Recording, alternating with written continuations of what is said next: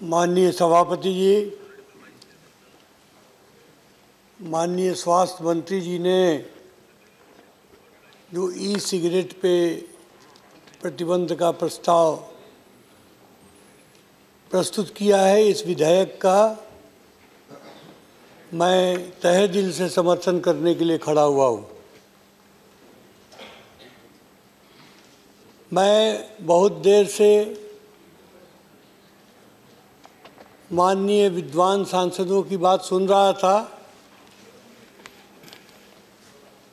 एक माननीय सांसद का तो समझ में नहीं आया कि वो समर्थन कर रहे हैं या विरोध कर रहे हैं। लेकिन वो कह रहे थे कि अभी तो ये नया नशा है, इसको कुछ दिन देखा जाए क्या होता है।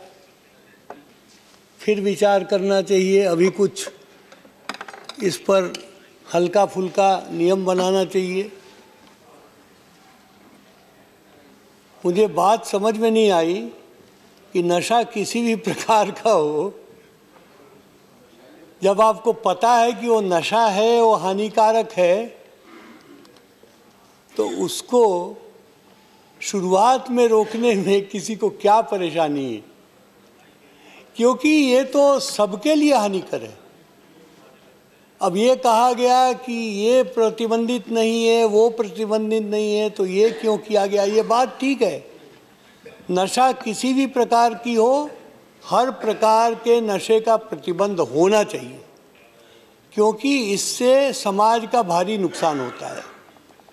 लेकिन ई सिगरेट की जहाँ तक बात है, इसके बारे में मैं ये बताना चाहूँगा कि तमाकू की तरह ई सिगरेट के रोकने से कोई रोज़गार का संकट नहीं पैदा होगा।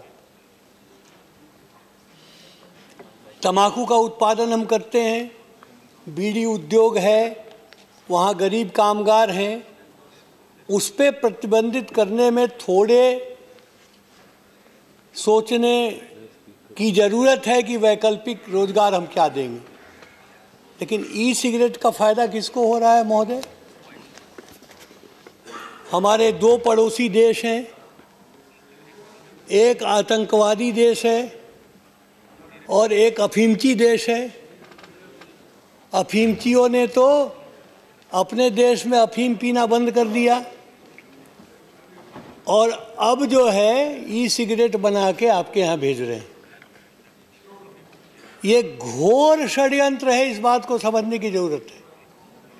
पहले भी मैंने इस प्रश्न को इसी सदन में उठाया था कि बच्चों में नशाखोरी की लत डाली जा रही है और इसी दिल्ली नगर निगम के बच्चों का एक सर्वे हुआ आठ नौ और दस वर्ष के बच्चों का उसमें साढ़े सोलह परसेंट बच्चों को नशे की लत लग चुकी थी। कहा जा रहा है ई सिगरेट महँगा है। अरे पहले जब नशे की लत लगानी होती है तो फ्री बांटा जाता है। उसके बाद वो रिफिल के लिए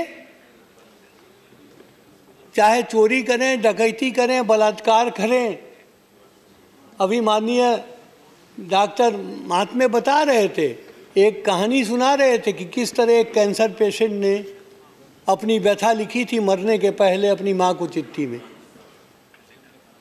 ये बाद में बात समझ में आती है।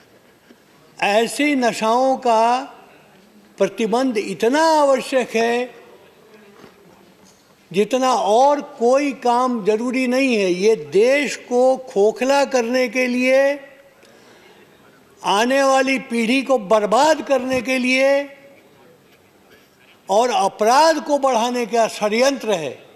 और ये हमारे दुश्मन देश कर रहे हैं इस बात को।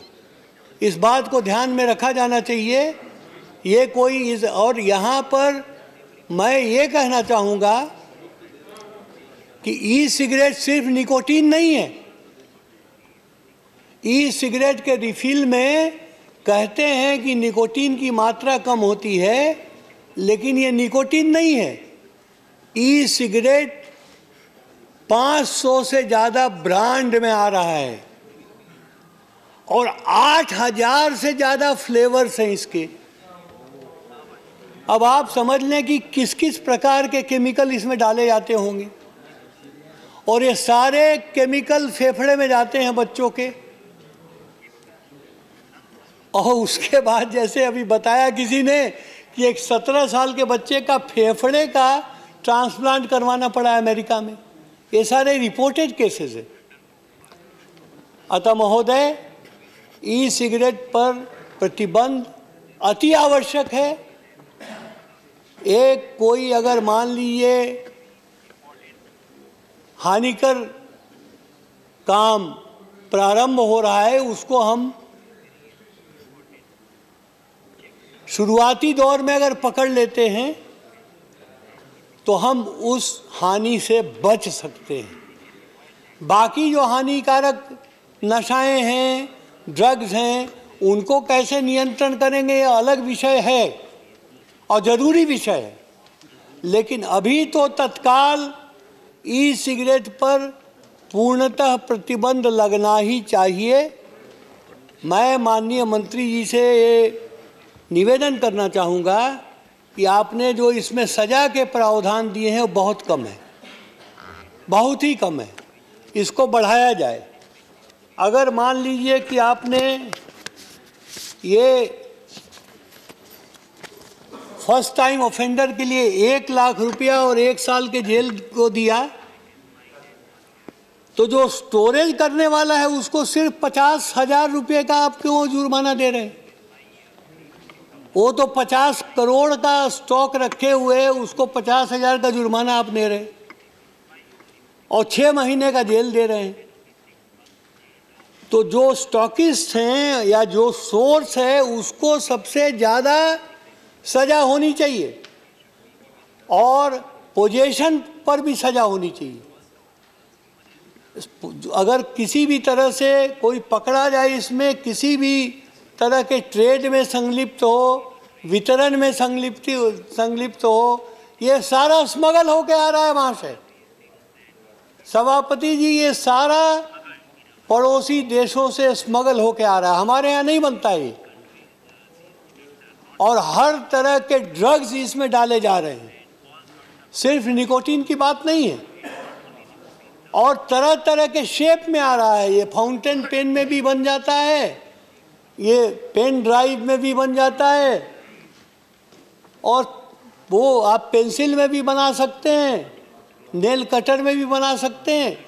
और वो उसको बैटरी से इसको एक्टिवेट करके आप बटन दबाइए और वो आपको जो स्टीम जो है अंदर चला जाता है आपके। बहुत ही खतरनाक है। ऐसे खतरनाक लत को शुरुआती दौर में रोकना, ये इस सदन में जब आया है, इसका कर्तव्य अभी आप देखें, अभी तो शुरुआती दौर है, लेकिन इसके ट्रेड को तीन बिलियन डॉलर का आंका गया है कि तीन बिलियन डॉलर का ये है। और ये ऑनलाइन अवेलेबल है। घर पहुँचा देते हैं लोग। ये पूरा गैंग काम कर रहा है। ऑनलाइन बुक कर दीजिए और घर पहुँच जाएगा। इतना खतरनाक ये साजिश इस समाज को खोखला करने की हो रही है, महोदय। ये इसको मात्र एक हेल्थ इशू के रूप में, एक स्वास्थ्य के खतरे के रूप में नहीं लेना चाहिए। ये महाविध्वंसक आतंकवादी गतिविधि है, जिसमें कि विदेशी षड्यंत्रकारी शामिल हैं और जिसमें आपने, मैंने बताया कि आतंकवादियों का देश और अफीमचियों का देश इसमें आगे बढ़ के काम कर रहा है। अतः महोदय, मैं इस बिल का तहे दिल से समर्थन करता हूँ और मैं आपको बता रहा हूँ कि कोई भी अपराध जो होता है, संगीन अपराध, वो अधिकतर पाया गया है कि नशे के प्रभाव में होता है।